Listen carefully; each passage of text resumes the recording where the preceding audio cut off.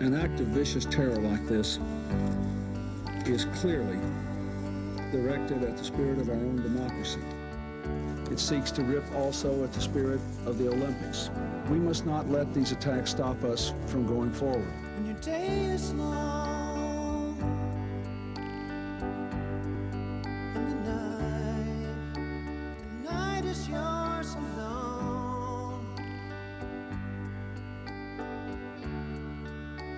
Sure you've had enough. We're here to proclaim a victory.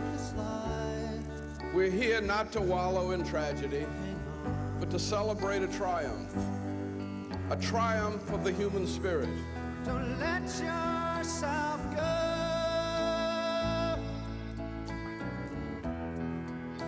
Cause everybody cries.